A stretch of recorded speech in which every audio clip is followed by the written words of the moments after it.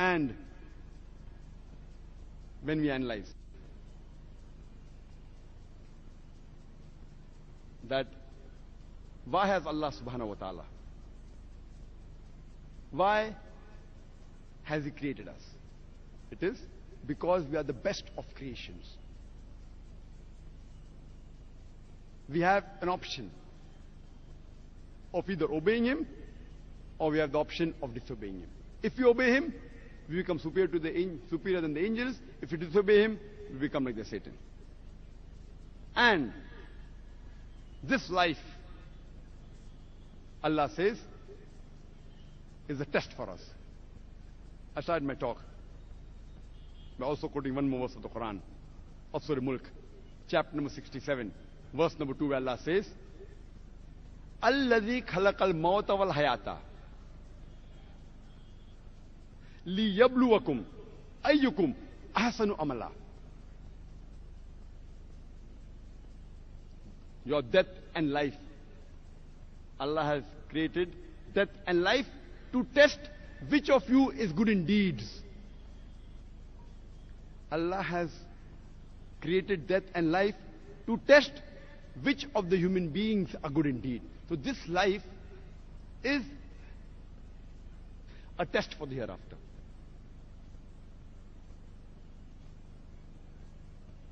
Allah says in the Quran in Surah Al Imran, chapter number 3, verse number 185. Kullu nafsin zaikatul maut. Every soul shall have a taste of death. Your final recompense will be on the day of judgment. And whosoever has been saved from the fire and has entered the garden of paradise, he has achieved the objectives of this world. For verily, this life is goods of chattels and deception. Allah says in the Quran, in Surah Baqarah, chapter number 2, verse number 155. Be sure we shall test you with something of fear or hunger, or loss in goods or lives, or the fruits of your toils, and give glad tidings to those who patiently persevere. Allah subhanahu wa ta'ala has created this life for us and death as a test. To test which of the human beings is good indeed. And surely Allah will test you. With fear, with hunger, with loss of goods, with loss of wives. And what you have earned in your full life, the fruits of your toils. He will test different people in different ways. Allah says in the Quran, in Surah Anam, chapter number 6, verse number 71, that Allah subhanahu wa ta'ala bestows his sustenance more freely on some of the human beings as compared to others. Allah says in the Quran in Surah Anam chapter number 6 verse number 165 that he has raised some of the human beings in higher ranks above others and he has bestowed gifts on some of them so that he will test them. So if Allah raises you in ranks and gives gift to you, bestows bounties on you, be prepared. Allah is testing you. Allah says in the Quran, in Surah Anfal, chapter number 8, verse number 28, that your wealth and your children, they are a test for you. The wealth that Almighty God has given you, the children that Almighty God has given you, they are a test for you. Allah says in Surah Munafiqun, chapter number 63, verse number 9. Let not the love of your wealth and children take you away from the remembrance of Allah subhanahu wa ta'ala. Allah says in the Quran, in Surah Ankabut, chapter number 29, verse number 2. Do not think just by saying you believe, Allah will let you go and Allah will not test you. So just by saying, I am a Muslim, I am a believer, I am a Mu'min, Allah says in the Quran, don't think that Allah will not test you. Allah will surely test you And only if you pass in the test will you get paradise. Just by saying I'm a Muslim, I'm Muhammad, I'm Zakir, I'm Abdullah will not take you to Jannah. Allah will surely test you. And if you pass in the test, then inshallah go to Jannah. What are the criteria for a person to go to paradise? For a person to attain Jannah? And the answer to this question is given in Surah Al-Asr, chapter number 103, verse number 1 to 3, where Allah says, Wal Asr. Innal insana lafi khusr. Illa lazin amanu. Wa amilu salihati. Wa tawasaw bil haqq wa tawasaw bil sabr. By the token of time, man is verily in a state of loss. Except those who have faith. Those who do righteous deeds. Those who exhort people to truth. And those who exhort people to patience and perseverance.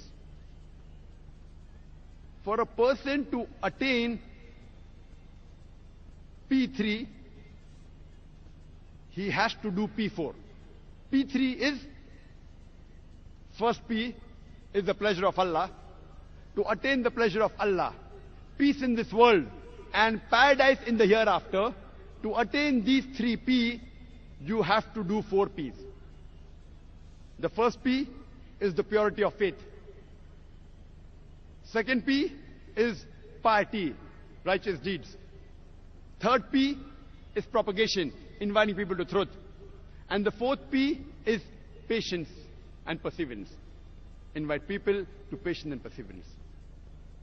For any human being to attain the pleasure of Allah and peace in this world and paradise in the hereafter, he should have iman, righteous deed, that is purity of faith. He should have amal salihat, righteous deed, piety. He should have watawasaw bil haq. He should do watawasaw bil haq. Invite people to the truth. That is do propagation. And watawasaw bil sabr. Invite people to patience and perseverance. To attain three P's, you should follow the four P's.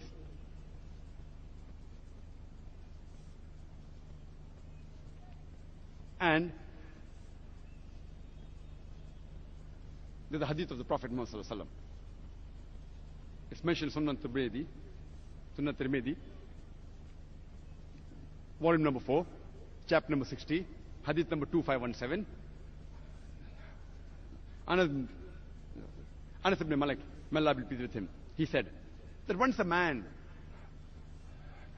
he asked the Prophet, should I tie it, that is my camel, and trust in Allah, or should I leave it, leave my camel or trust in Allah? The Prophet said, tie it, tie your camel and then trust in Allah.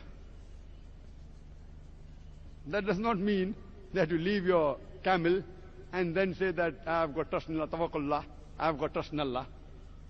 You can't leave your door open and then say, you know, I've got trust in Allah, no robber will come. You have to close your door and then trust in Allah. Trust in Allah is important, but also following the guidance of Allah is important. And for success,